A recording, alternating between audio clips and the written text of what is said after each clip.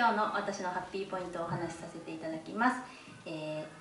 つぼみさんの話なんですけれども、えっと、私は双葉組の担任で同じお部屋にはいるんですけどあの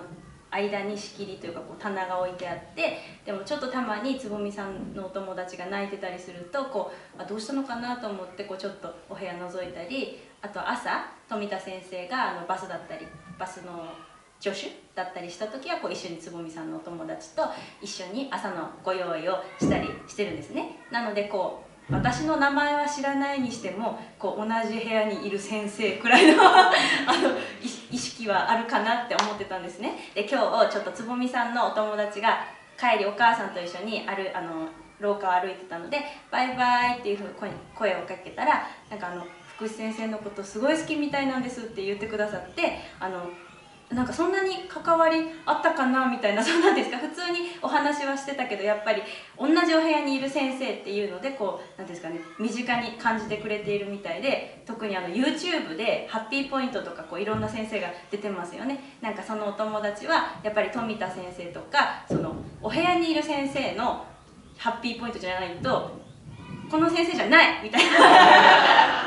こう自分のやっぱり好きな先生を選んで見てるみたいでなんかそういうお話が聞けて可愛いなって思いました。でまたもう一つなんですけれども最近というかえっ、と6月からよあの幼稚園がスタートしてなんかこう6月の頭の頃ってご飯とか給食を食べる時に双葉さんあの私と一緒に食べてるお友達なんかもうみんな自由だったんですね。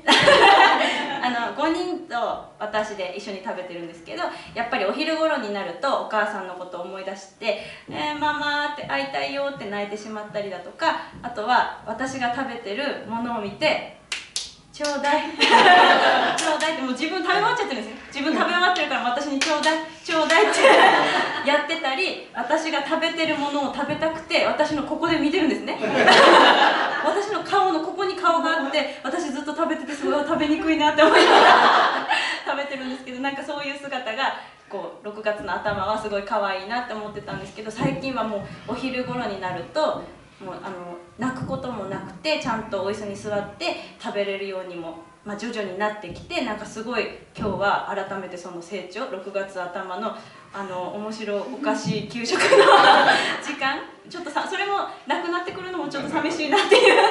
気持ちもあるんですけれどもなんかこうみんながどんどんどんどん一日一日お兄ちゃんお姉ちゃんになっていく姿がすごく頼もしいなと思った一日でした。これが今日の私のハッピーポイントです。ありがとうございました。